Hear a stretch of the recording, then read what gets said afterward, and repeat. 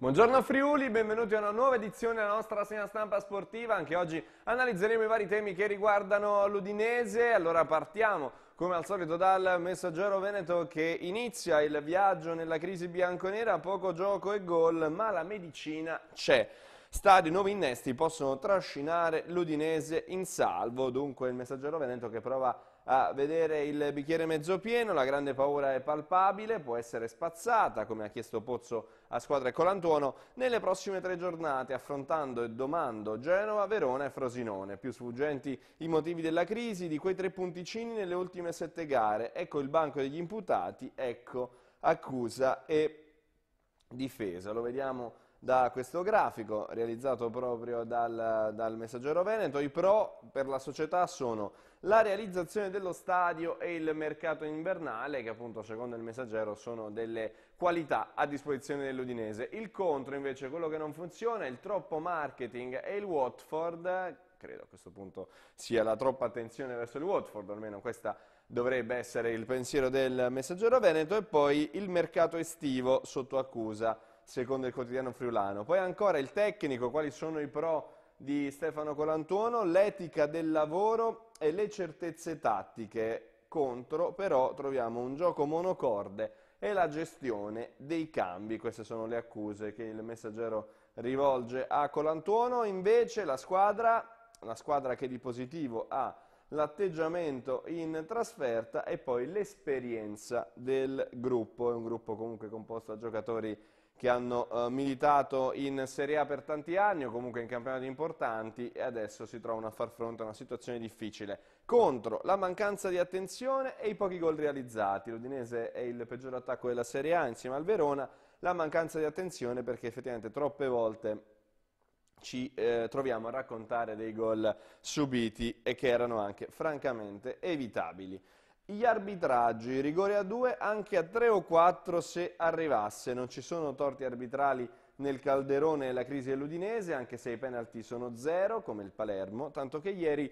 Ivan Zazzaroni, riferendosi all'assist di Messi dal dischetto, ha twittato Udinese e Palermo i rigori li batterebbero anche a tre o a quattro se ne fischiassero uno a favore. Ed effettivamente rispetto all'anno scorso, dove comunque i rigori assegnati furono pochissimi, eh, non è mai stato sotto accusa l'arbitraggio, sono stati pochi effettivamente gli episodi da Moviola che riguardano la formazione bianconera. Nel frattempo, parlando sempre dei giocatori dell'Udinese in giro per il mondo, Nico Lopez si, si riscopre tripletta nel derby, non solo Zielinski, sono molto i talenti, i proprietà dei Pozzo che stanno facendo bene in giro per il mondo. Un altro è Nico Lopez, prestato al Nacional in Uruguay e rifiorito in patria. Nelle ultime due gare ha firmato due gol, addirittura una tripletta al River Plate nel derby di Montevideo. E quindi non sono due gol, ma minimo 4 mi viene ehm, ecco, lecito questo dubbio, anche se insomma, ammetto di non conoscere precisamente lo score di Nico Lopez, ma tre gol ne realizzati sicuro e quindi sono più di due. La grande paura, la decisione, l'Udinese va in ritiro, basta con gli errori, siamo preoccupati, con Lavino e Giaretta hanno dato l'annuncio alla squadra, bianconeri da domani a sabato all'hotel Al Ponte di eh, Gradisca, non aveva voluto parlare Giampaolo Pozzo né domenica al termine della sconfitta con il Bologna né ieri. A mente fredda, evidente il risentimento del Paron per l'ennesimo intoppo casalingo che tiene l'Udinese a stretto contatto con la zona retrocessione. Così ieri è arrivata, come era nell'aria, la decisione della società. La squadra va in ritiro anticipato domani dopo aver disputato il test al Friuli alle 15 contro i ceceni del Terek. Si trasferirà all'hotel Ponte di Gradisca dove resterà fino a sabato pomeriggio quando in aereo raggiungerà Genova dove domenica l'attende la sfida salvezza con il Griffone. Sono stati il direttore generale Franco Collavino e il direttore sportivo Cristiano Giaretta a comunicare la decisione della proprietà alla squadra ieri prima di cominciare. L'allenamento dunque Teniamo chiaramente l'ufficialità di questa notizia, ma nel frattempo sembra ecco, questa la voce principale. Le parole del DS, la terra comincia a scottare sotto i piedi, a Natale avevamo 9 punti sulla terzultima, ora ne abbiamo 5. Parlando invece della squadra e delle imminenti novità che la riguardano, Vaghe torna in gruppo e a Marassi ci sarà, domani c'è anche l'amichevole con il Terek Grozny, squadra russa, eccola qui, domani pomeriggio alle 15, si giocherà alla Dacia Arena, Stadio Friuli, contro il Terek Grozny, questa squadra russa che è, ritiro, è, in ritiro a Lignano, per cui insomma toccherà fare pochissimi chilometri per visitare il nuovo magnifico impianto della formazione bianconera, Terek Grozny che è stata l'ultima squadra allenata da Rud Gullit, ecco piccolo Piccola nota di colore, nel test eh, contro il Terek dovrà, potrebbe vincersi l'11 di partenza per domenica, intanto ieri l'Odinese ha ospitato la Sport Radar nell'iniziativa contro il match fixing realizzata dalla Lega in collaborazione con l'Istituto del Credito Sportivo. Anche questa è una piaga da debellare, quella del match fixing, fa benissimo l'Udinese a pubblicizzare questo evento, a sensibilizzare l'opinione pubblica su questa situazione perché effettivamente deve essere chiarita al più presto, anzi cancellata del tutto. La Serie B è un'ipotesi concreta, questa è la paura dei tifosi, domenica è un bivio decisivo, ma non mancano gli ottimisti. Come al solito il messaggero raccoglie eh, il mercoledì le opinioni dei tifosi bianconeri attraverso i social network, la paura non mi è mai passata, dice Matteo Foschini, eh, Mattia Zuccolo invece dice se non si fanno almeno 7 punti nelle prossime tre partite siamo destinati giustamente alla Serie B, massimo 40 punti rincara la dose, la B non è una paura ma qualcosa di concreto. E poi eh, messaggi positivi come quelli di Renato Tondon Uh, siamo preoccupati, se per caso perdiamo anche contro il Genova sarà sicuramente allarme rosso, noi del club Friuli saremo a Genova con il club di Amato per sostenere la nostra squadra fino in fondo, mai molà, insomma arrivano anche messaggi positivi per quanto riguarda la formazione bianconera. Passiamo a parlare di Colantuono, il calcio scommesse, come ben saprete c'è questo filone che purtroppo vede coinvolto anche il nostro tecnico, una situazione decisamente particolare, però Colantuono in difesa anche nell'aula di tribunale, domani l'udienza preliminare a Cremona per oltre 100 imputati, tra cui il tecnico mai nominato e finito nel filone Doni. Più complessa invece la posizione di Conte. L'abbiamo descritta tante volte, la situazione di Colantuono, soprattutto a inizio stagione. Ci auguriamo che la giustizia sportiva nel fare il suo corso riesca a, a, svincolare il tecnico bianconero da qualsiasi tipo di responsabilità. Parliamo di calcio giocato, lasciamo per un attimo la parentesi bianconera, parliamo di nazionale, l'Under 17, ieri in campo a Manzano, ha vinto 3-1 con la Serbia, l'abbiamo seguita noi di Udinese TV, ecco la sintesi della gara. L'Italia Under 17 del selezionatore Dal Canto ha battuto oggi pomeriggio a Manzano per 3-1 la Serbia nel primo dei due test match che gli azzurrini giocano con i serbi sul campo sportivo di Viale Olivo. L'Italia, che è in ritiro a Colmons, si sta preparando per le fasi elite dei campionati europei che scatteranno a marzo. L'11 azzurro ha convinto i 200 spettatori di Manzano, mettendo in mostra individualità importanti, in primis quelle del regista Militari, classe 99 che milita nella Fiorentina, ma anche dei difensori Bellanova e Bianchi e dei centrocampisti offensivi Olivieri e Marcucci. L'Italia è passata in vantaggio alla metà del primo tempo. Frattesi, involatosi sulla sinistra, è stato abbattuto in area di rigore. L'arbitro ha chiamato immediatamente il calcio dagli 11 metri che Militari ha realizzato con estrema precisione. Il raddoppio azzurro è arrivato al 31esimo con la Serbia che ha perso palla al centrocampo incassando l'assist di militari per King, che è stato abilissimo a entrare in aria, dribblare il portiere e realizzare un diagonale di sinistra.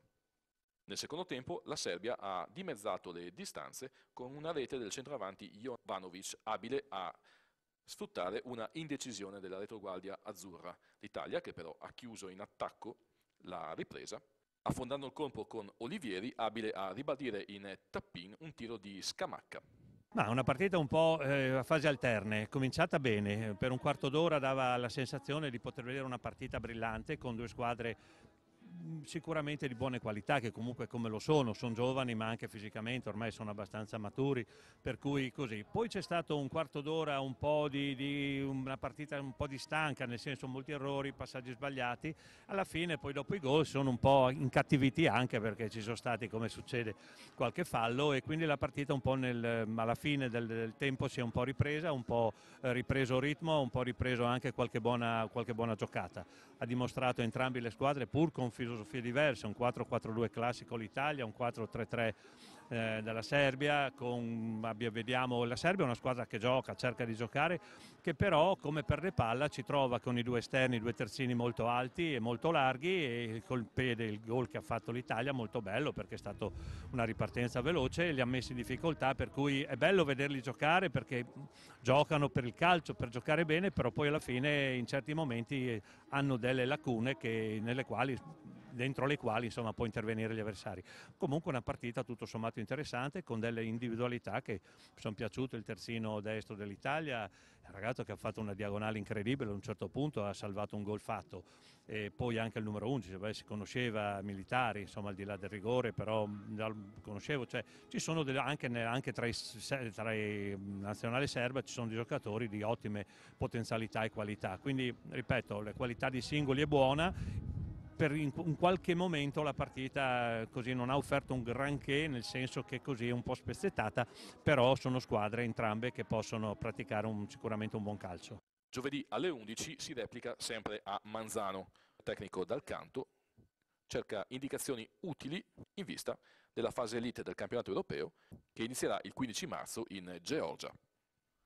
Quindi questa era la sintesi, il servizio realizzato dal nostro Alberto Tonizzo relativamente alla gara tra Italia e Serbia nel 17 che è andata in onda in esclusiva su Udinese TV nel pomeriggio di ieri. Spostiamoci ancora sul messaggero, parliamo di basket eh, perché oggi questa sera, anzi alle 21 al Benedetti, c'è un turno infrasettimanale che vede protagonista la GSA, chiaramente ci saremo anche noi di Udinese TV come al solito, turno infrasettimanale che vedrà la GSA Udine impegnata contro la Broetto Padova nel turno infrasettimanale che coincide con la settima di ritorno di Serie B. Capitan Vanuzzo e compagni arrivano alla, dalla vittoriosa trasferta di domenica in quel di Crema e non si sono risparmiati né lunedì facendo sedute di tiro e studiando gli schemi degli avversari né ieri sera allenandosi in via Marangoni. Lardo dice che Padova è una squadra in crescita, nelle ultime cinque gare ha perso solo contro Crema di pochi punti, all'andata siamo stati bravi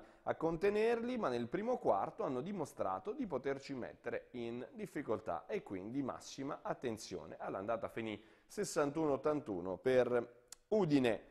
Andiamo adesso sul Gazzettino del Friuli, vediamo cosa dice l'altro quotidiano locale, prima di spostarci sulla parentesi nazionale.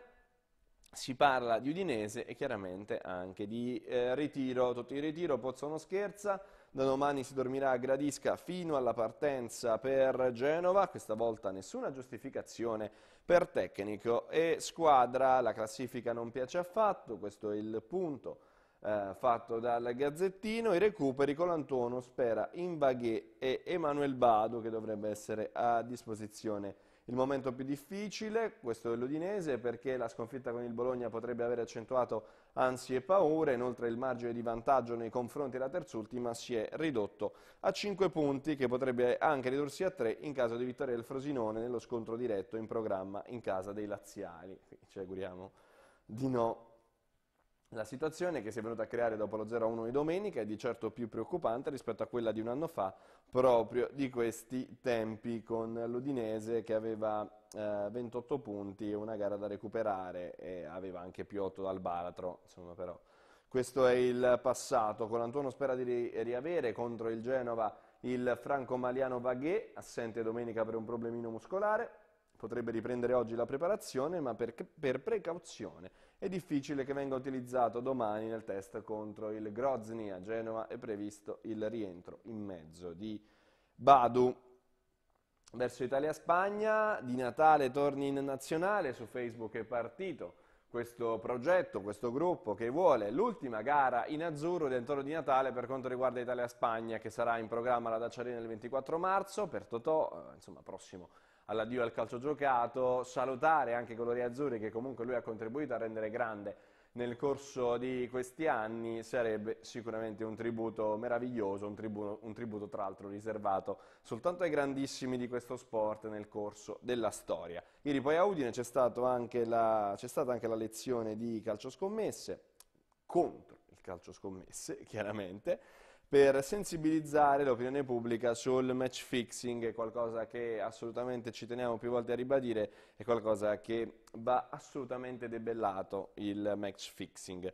Eh, il Pordenone, si parla di Lega Pro, Ramarri, l'infermeria scoppia, sette giocatori infortunati o acciaccati, anche Filippini e a rischio il Pordenone che viene da sei vittorie di fila, sogna legittimamente la Serie B perché è seconda da sola in classifica con 40 punti, deve però un attimino fare i conti con uh, questi infortuni, acciaccati e inutilizzabili sono Cosner, Di Agostini, Beltrame, di certo bloccato Ingegneri, Pederzoli non si è allenato, riprenderà solo oggi, la pioggia non aiuta i recuperi, Tedino non sa ancora chi potrà portare a Cremona e chi potrà scendere sul rettangolo dello Zini sabato sera, questa allora la situazione per quanto riguarda il Pordenone, ci auguriamo che per quando si dovrà scendere in campo si... Eh, possa raccontare di una infermeria decisamente più vuota.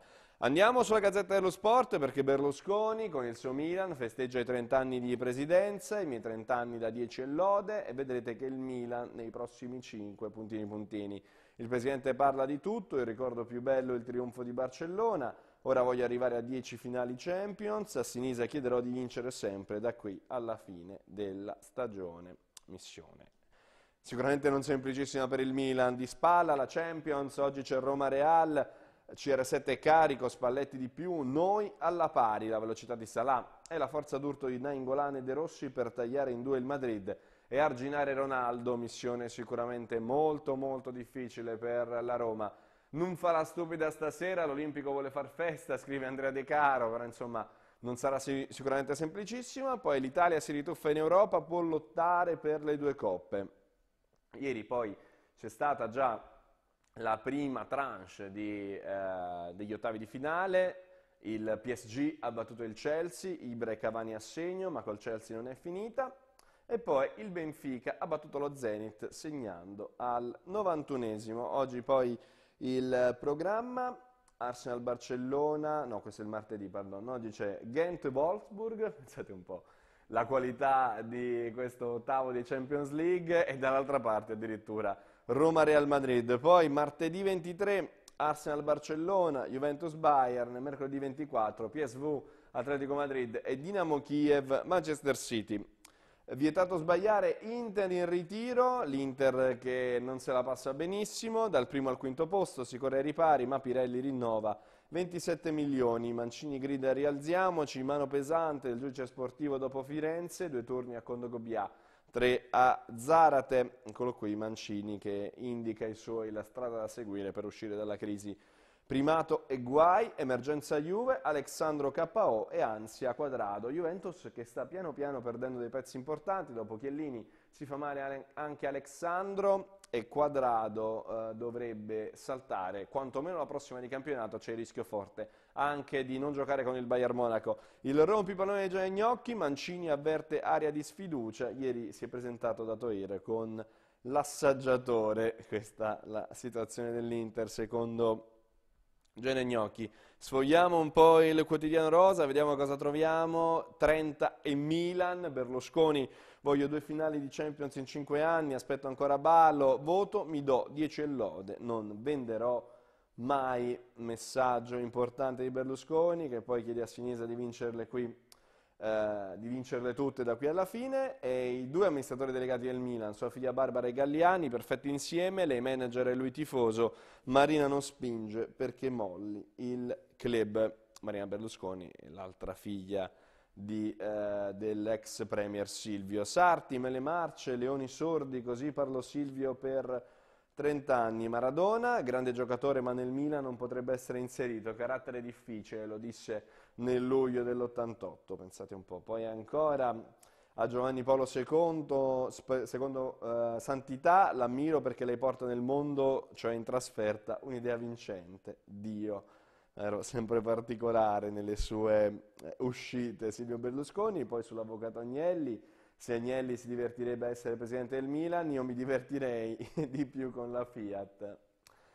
E ancora la chiusura sull'infanzia, mio papà mi portava allo stadio, non pagavo il biglietto perché ero piccolo piccolo, e questo credo sia successo a tutti. Il Milan di Berlusconi ha giocato 1474 partite, l'equivalente di 92 giorni, ce l'ho tatuato sul cuore e non farò un trapianto Berlusconi che allora si tiene stretto il suo Milan. Chiudiamo con le letture di Corriere dello Sport e Tutto Sport. Il Corriere scrive Ronaldo accende Roma, Champions olimpico pieno per il Reale alle 20.45, CR7 un ciclone, so perché Messi ha tirato il rigore così, Totti è impressionante, Spalletti, passare si può, ci crede. Il tecnico giallorosso eh, in taglio alto si parla di cinema con Deadpool e di spalla invece per la Juve un bagno d'amore a Vinovo dopo il sorpasso Festa con i tifosi. Mancini fa il duro, Inter già in ritiro, il Napoli con il dubbio di Sarri, Guain sì o no? E infine scopriamo come sarà Roma 2024, il progetto che vede a capo Luca Cordero di Montezemolo. Chiudiamo con tutto sport, l'inchino dalla Spagna all'Inghilterra, alla Germania alla Francia, tutti celebrano il gioco e il record dei bianconeri, insomma Juventus che ha fatto una rimonta incredibile, questo bisogna concederglielo. Ai si ferma Alexandro Allegri in ansia e poi l'intervista a Bialli, che bello giocare accanto a Dybala. Il Torino, immobile sembrava Van Basten, insomma calmiamoci un attimo. In taglio basso Roma, stasera facciamo i fenomeni, questa è la eh, domanda di tutto sport, quasi una richiesta. Scusate, con questo colpo di tosse, tra l'altro Chiudiamo la rassegna stampa di questa mattina, abbiamo analizzato il momento dell'Udinese, Udinese che molto probabilmente andrà in ritiro a partire dalla giornata di domani per trovare la concentrazione e ottenere dei punti nella gara contro il Genova. A non resta che salutarci e augurarvi come ogni giorno. Buongiorno Friuli.